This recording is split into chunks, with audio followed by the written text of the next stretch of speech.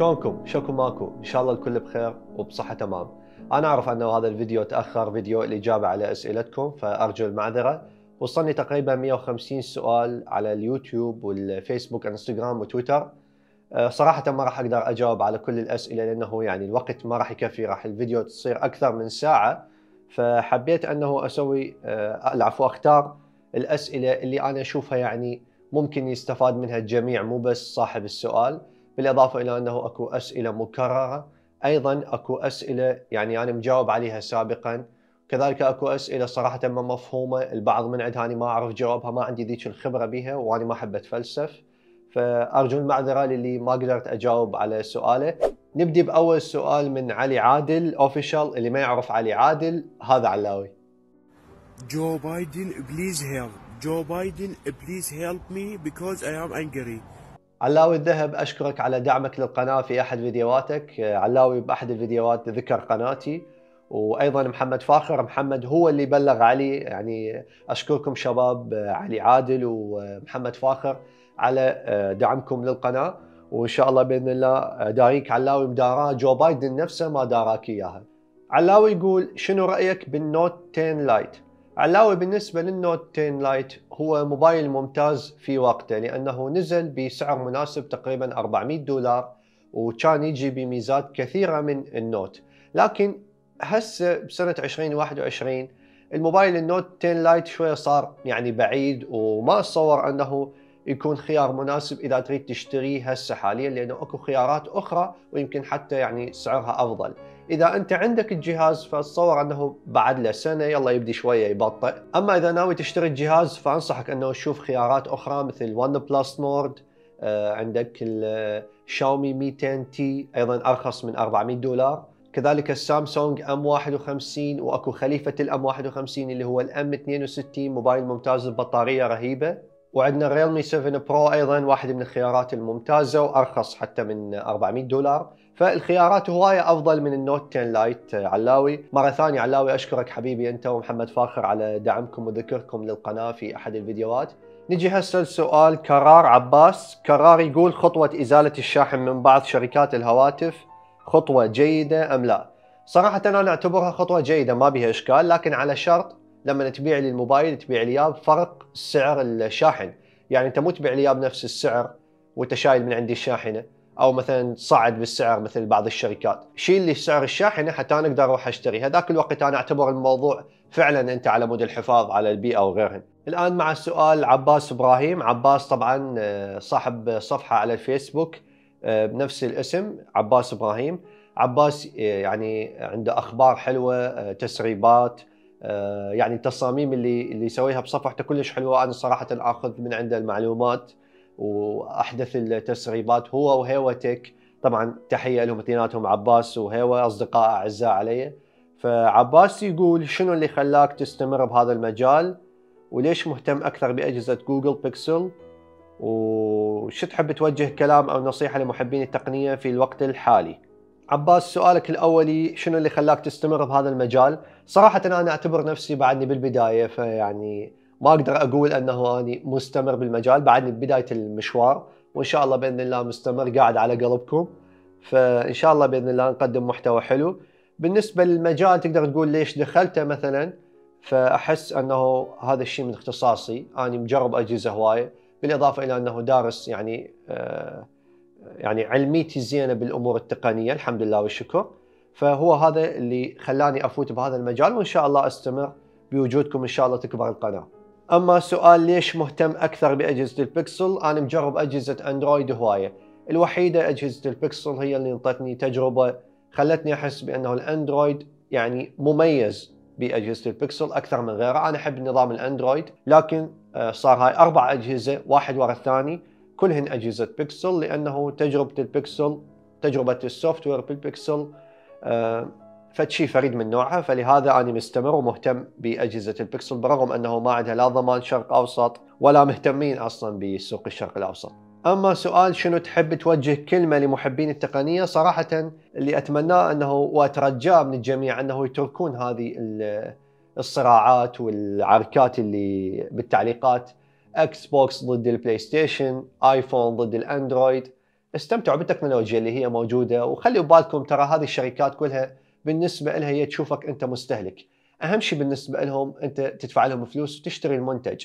هذا المهم عندهم. مو يعني ماكو داعي واحد يتعارك ويا أخوه على مود هذا آيفون وهذا أندرويد. صراحة أنا من أشوف هيك تعليقات ما أجاوبهم. يعني ما له داعي أصلا أجاوب. ليش يا أخي تتعارك لو تحكي وتقول كذا وكذا؟ أنا اليوم هسه مستخدم الأندرويد. مستحيل أنكر وأقول بأنه الآيفون جهاز تعبان. واحد من أفضل الأجهزة بالعالم إذا ما كان أفضلهم. أنا أستخدم الأندرويد صح لكن ما أقدر أنكر هذا الشيء. وشيء حلو إنه أشوف المنافسة بيناتهم. فما لها داعي هاي الصراعات. أنا أعرف أكو يعني تقدر تقول عقليتهم صغيرة وينجرفون لهذه الصراعات وتبدي مسبة وغلط وغيرهن. لكن اللي أتمناه من تشوف هيك واحد لا تجاوبه. يعني خليه شلون ما يريد يحكي خليه يحكي. أو سوي له حظر أو غير شيء فما لها داعي هاي الصراعات. هذا اللي أتمناه من محبين التقنية لأنه التقنية فد شيء حلو ومرتب. المفروض يعني أذواق العالم بالتعليقات وبالكتابات وب يعني تكون أفضل من اللي أنا دا أشوفه هواية بال على السوشيال ميديا بشكل عام. رقية تقول منو الأفضل البيكسل لو ال Apple حسب تجربتك؟ حسب تجربتي أنا أشوف البيكسل هو الأفضل فلذلك أنا متمسك بهذه التجربة لكن من يجي واحد يسألني يقول لي إيش تنصحني؟ أقول له لا أخذ iPhone صراحة يعني. ال iPhone بشكل عام يقدم فد شيء ملائم للمستخدم أكثر من البيكسل وغيرهن. صحيح البيكسل بالنسبة لي اشوفها تجربة ممتازة بال Android لكن آيفونات شركة Apple تعتبر فد خيار مناسب للي يريد يستقر على جهاز لأكثر من أربع سنين. فإذا إلي أختار البيكسل إذا اي واحد ثاني أقول له Apple. وإذا يعني الشخص المقابل يريد إلا Android فهم ما راح أنصحه بالبيكسل لأنه ماكو ضمان وماكو أكسسوارات. ولا حتى قطع غيار موجودة فالموضوع به مجازفة. نجي هسه لسؤال أمير أحمد يقول هل تعتقد أن مجال التقنية يحتاج دعم مادي قوي وإمكانية حتى تنجح بهيك مجال؟ إذا قصدك مجال التقنية يعني كصانع محتوى بالنسبة لي أشوف صناعة المحتوى بحد ذاتها ما متعلقة بالمادة ولا بالإمكانية، بإمكانك أكو صناع محتوى عالميين حاليا يصورون بجهاز الموبايل مالتهم. يعني ما يراد لها لا إضاءة ولا شيء يستغل أمور طبيعية وشغلات بسيطة. لكن مع هذا أني أشوف أنه إذا الدعم المادي موجود الإمكانية موجودة انه واحد يجهز نفسه من ناحية كاميرا من ناحية عدسة إنارة إضاءة أكيد طبعا هذا راح يحسن من المحتوى. يعبرك كم خطوة. لكن يمنعك من أنه تصنع محتوى؟ لا ما أظن. حسين مقدام يقول لو خيروك بين أقوى معالجات AMD أو معالج Apple M1 ياهو اللي تختاره وشنو السبب؟ صراحة أنا أختار ال AMD لأنه معالجات ال AMD موجودة على ال Windows وال Windows هي النظام اللي أنا أستخدمه. أنا ما أفضل نظام ال macOS. أكيد طبعا معالجات شركة Apple ال M1 سوت طفرة ممتازة. أنا يعني سويت أحد الفيديوهات تقدرون تشوفوها. ممكن ال M1 ما أنطاني أداء بالمونتاج اللي يرضيني اللي يخليني يعني أحول بعد كل هذه السنين لل M1 إذا أستخدم برامج المونتاج غير ال Final Cut أنا ما أستخدم ال Final Cut. بس إذا تريد Final Cut وتجيب أي لابتوب من شركة Apple M1 راح تشوف تجربة فريدة من نوعها. شوف المراجعة اللي بالقناة مراجعتين عندي انطباع أولي تقدر تقدر تقول. والثانية هي تجربة المونتاج. السؤال الثاني يقول لو خيروك بين Google Pixel 5a أو iPhone 12 Pro وشنو السبب؟ بيكسل 5 أي بعد ما نازل المفروض أكو إشاعات عليه بس إذا قصدك بيكسل 5 اللي هو أحدث واحد وما بين iPhone 12 Pro فشي طبيعي أختار البيكسل المفروض هسه أنتم المتابعين عرفتوا أنه أنا بالنسبة لي أجهزة البيكسل أجهزة هي اللي أستخدمها دائما. فأكيد طبعا مو معناته أنه ال iPhone 12 Pro موبايل سيء. لا يعني أي واحد يسألني هذا السؤال إله أقول له أخذ ال iPhone 12 Pro بس إلي أفضل البيكسل لأسباب عديدة صراحة شرحتها بأكثر من فيديو. أنا أحب الأندرويد والأندرويد موجود بأقوى صورة في أجهزة البيكسل أم الأمراء تقول تعتقد بالمستقبل راح تكون YouTuber مشهور. حقيقة الهدف من صناعة المحتوى أو اليوتيوب بحد ذاته هو مو أنه أكون مشهور بقدر ما أنه أترك أثر جيد في عالم التكنولوجيا. تعجبني فكرة أنه أنت تصنع محتوى يعبر عن الشباب العراقي حتى المقابل كل شيء يهمني أنه أشوف المقابل سواء كان بدول الخليج أو بالوطن العربي وحتى في العالم يشوفون أنه المجتمع العراقي مجتمع مجتمع التقني العراقي مجتمع مثقف وحلو. أكيد طبعا أكو أفضل من عندي بهذا المجال أقدم من عندي بهذا المجال. آه، لكن اللي أتمناه إنه مو أوصل للشهره وخلاص إحنا هواية نشوف أكو أشخاص مشهورين بطرق ما حلوة. اللي أتمناه إنه أترك أثر حلو حتى إذا مثلا في يوم من الأيام تركت اليوتيوب. أتمنى إنه آه، معلوماتي تفيد اللي اللي اللي دي يتلقى المعلومة. منتظر التميمي يقول هل تعتقد إنه الهواتف المطوية هي المستقبل بعد خمس سنوات؟ لو الموضوع صعب ويحتاج وقت أكثر. ليكون الهاتف المطوي مثالي من كل شيء مثل الحجم والوزن والسعر وبعض المشاكل. مبدئيا أنت بعد خمس سنوات الأكيد أنه راح نشوف هواتف فولد أفضل وتقنية أكثر وزن أقل سعر أكيد راح يقل. لكن بالنسبة لي أنا ما أشوفها هي المستقبل. نجي سؤال 6 AB 6 والله مو سؤال 100 ألف سؤال عندك AB فأرجو المعذرة ما راح أقدر أجاوب على كل الأسئلة. أه السؤال الأول يقول هل يعلق الايباد برو 2020 أنا عندي الايباد برو 2018 صار له تقريبا أكثر من سنتين. اي أكثر من سنتين. وبعد اللي هسه ما يعرف شنو تعليق. فتخيل يعني الايباد برو 2020 شلونه طبعا أكيد ماكو شيء يبقى على حاله لكن أنا أتوقع إنه الايباد برو 2020 ممكن يبدي شوية يبطئ أو تشوف فرق بالأداء بسنة 2027 بعد سبع سنوات لأنه المعالج اللي بيه وال RAM فشي قوي. فأنا دا اقيمها بناء على تجربتي خلال الثلاث سنين اللي مرت مع ال 2018 بعدني لحد الآن بدا أشوف أي تقصير من أداء الايباد برو 2018 فالآيباد برو 2020 ممكن يوصلك لل يوصلك لل 2025 أو أكثر. أيضا عندك سؤال يقول ياهو الأحسن آيباد اير 4 لو الآيباد برو 2020 من كل النواحي الآيباد برو 2020 هو الأفضل. وأنا عندي مراجعات يعني للآيباد اير 4 مرتين. وأيضا عندي مراجعة ثانية يمكن لل... لا كانت للايباد برو 2018 أنه أفضل على الايباد برو 2020 بس للأسف الايباد برو 2018 آه، صار يعني شحة بالسوق انفقد تقريبا. بس إذا واحد يقدر يلقى له مستعمل 2018 مستعمل نظيف فأشوفه خيار ممتاز وأفضل من الايباد اير 4 أيضا يقول 6 AB 6 ليش قناتك حلوة وما بيها تفاعل؟ والله شوفوا هذا واقع اليوتيوب العراقي مع كل الاحترام للجميع. الناس تحب تتفرج يعني الأغلبية يحبون يتفرجون المحتوى يعني ما أريد أطب بهذه المتاهات بس بشكل عام يعني الدعم تقريبا قليل جدا من ناحية المتابعين. يعني أكو ناس تتفرج الفيديو ويعجبها الفيديو وتحط like وما تسوي إشتراك. ثقافة الإشتراك شوية قليلة عندنا. بالإضافة إلى أنه الدعم إحنا من نطلب مثلا like أو إشتراك أو تعليق أو غير شيء. هذه الأمور هي مو نرجسية من يعني بالنسبة لي أنا ما أطلبها كنرجسية أنه أنا أريد لايكات وخلاص. خوارزمية اليوتيوب تفتهم هذا الشيء على أنه تفاعل. أنت من تتفاعل ويا الصفحة أو من تتفاعل مع القناة بهذه الأمور like subscribe تفعل الجرس وغيرهن. اليوتيوب يفهمها بأنه هذا محتوى مرغوب فيصعده لاكثر من متابع آخر غير المشتركين.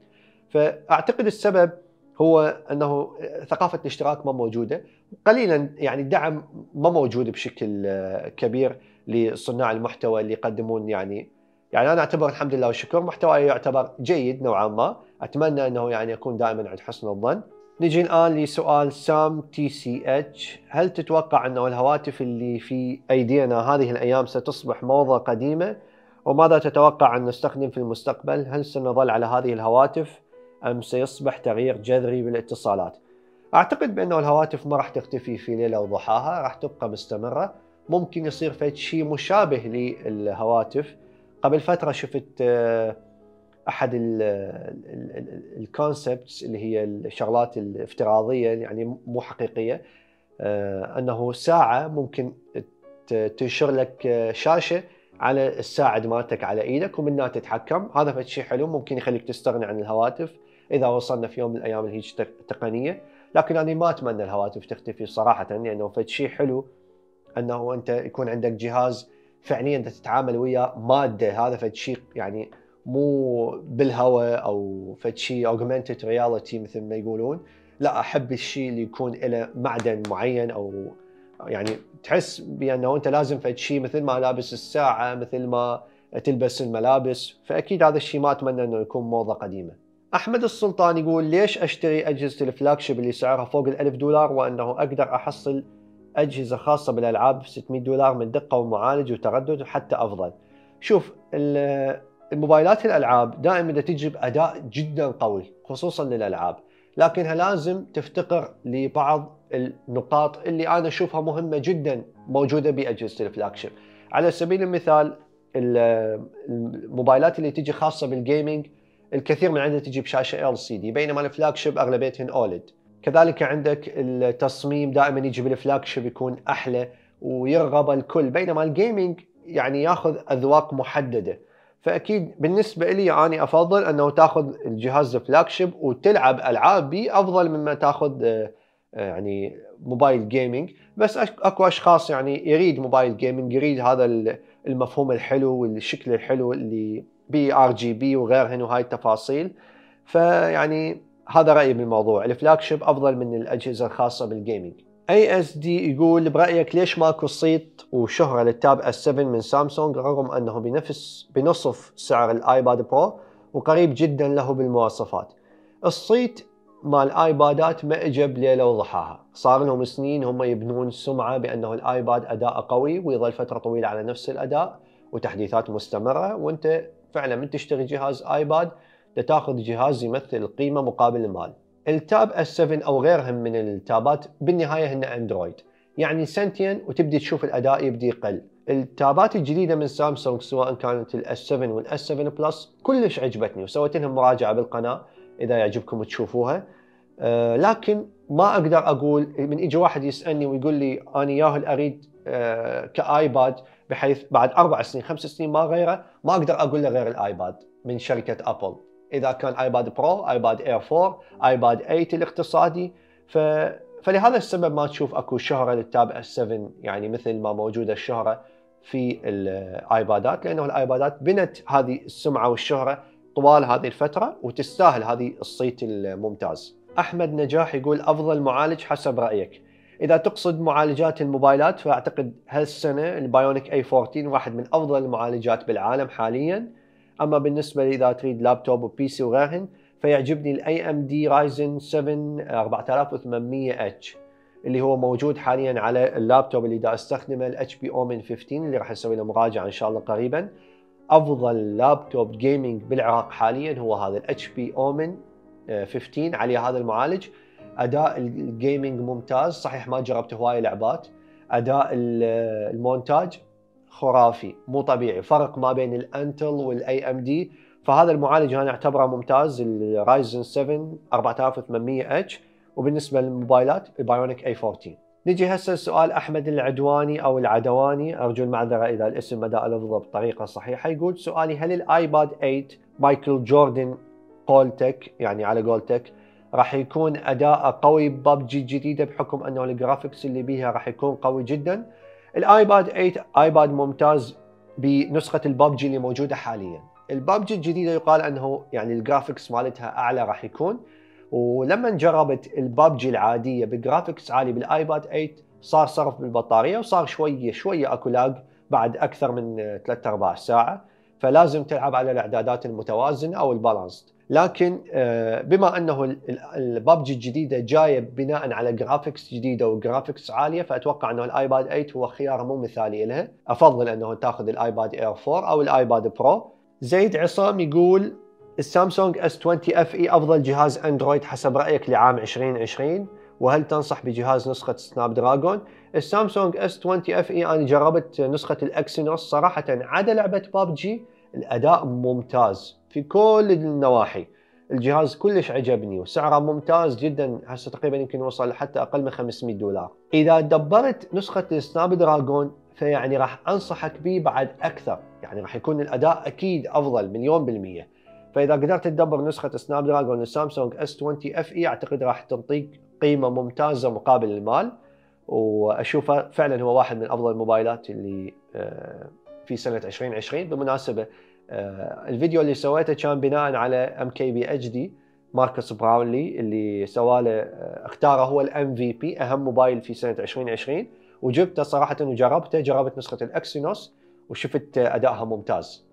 يعني يسوى السامسونج S20 FE تاخذه إذا ما يهمك موضوع بابجي. أما إذا تهمك موضوع بابجي فأفضل تشوف نسخة ال Snapdragon علي الخالد يقول أي مرحلة من مستوى البطارية في الآيفون يكون الجهاز ثقيل؟ المفروض انت تبدل البطارية أول ما توصل ل 80% أقل من 80% خلاص استحقت البطارية تبديل لأنه راح تنطيك أداء بطارية سيء. على أساس أنه شركة أبل تضعف من أداء المعالج لما توصل البطارية جو ال 85% في البداية آه، يعني اعترفت شركة ابل بهذا الشيء وقالت بأنه إحنا نسوي هذا الشيء حتى نحافظ على البطارية أكثر من النزول بشكل قوي وهذا الشيء أنا أعتبره صحيح ما بها مشكلة. لكن بعدين رجعوا سووا تحديث ثاني وشالوا هاي الميزة وبعد يعني يقول لك خلاص البطارية من توصل 80% روح بدلها. نجي هسه السؤال راسيل أحمد رسل أحمد رسيل أحمد ارجو المعذره إذا الاسم ما لفظه بطريقة صحيحة يقول السلام عليكم وعليكم السلام. شنو أكثر شيء شد انتباهك بالتغيير اللي صار بالموبايلات أو الآيبادات خلال 2020 وبداية 2021 وشنو كنت تتمنى شيء يصير وصار بالنسبة للتقنية؟ وشكرا. صراحة ماكو أي شيء شد انتباهي. أنا أعتبر التقنية في حالة من الملل آه، الموبايلات هي نفسها ماكو أي تغيير. ماكو فد شغلات يعني تستدعي انه الواحد ينبهر فعلا ويشوف أنه هذا فد شيء راح أتذكره بعد كم سنة. يعني كنت أتمنى أنه فد شيء أفضل حتى الموبايلات اللي هي منطوية ال fold آه، مو فد مو فد شيء يعني مثير للاهتمام كلش على الأقل بالنسبة لي يعني. عباس X يقول آه، ميني 5 أو Realme 6 شنو آخذ للبابجي والدراسة أيهما أفضل؟ إيش تنصحني؟ وإيش قد أسعارهم؟ آه، من ناحية الدراسة والبابجي أتصور الميني 5 ما ما يراد لها يعني الشاشة أفضل عندي مراجعة للميني 5 تقدر تشوفها أيضا. فأسعارهم أنا ما عندي اطلاع صراحة بالأسعار. بالمناسبه أكو هواية سألوا أسئلة بخصوص الأسعار أنا ما أعرف صراحة يعني حالي حالكم لا عندي محل ولا شيء. فأسئلة الأسعار آه، أرجو المعذرة يعني ما عندي معلومات كافية. بس أتصور أنه سؤال عباس جوابه هو الميني 5 نجي هسه سؤال علي سعد يقول السلام عليكم ورحمة الله وعليكم السلام. ممكن أعرف منو أفضل جوال للألعاب وليش هو أفضل من غيره. أنا أشوف أفضل جوال حاليا للألعاب موجود بالسوق حاليا هو ال Lenovo Legion. سوالة مراجعة حسين الجزائري من قناة iMaTech شوف مراجعة حسين كانت مراجعة حلوة. آه، أنا أعتبر هذا الموبايل هو الأفضل بال gaming حاليا بالسوق. ال ROG البارحة أعلنوا عنه. موبايل ممتاز لكن حاليا بس على ما يوصلنا ال ROG ما نعرف شو وقت بعد. اللي موجود حاليا هو ال Lenovo Legion أنا أشوفه واحد من أفضل الموبايلات ال gaming بالسوق حاليا.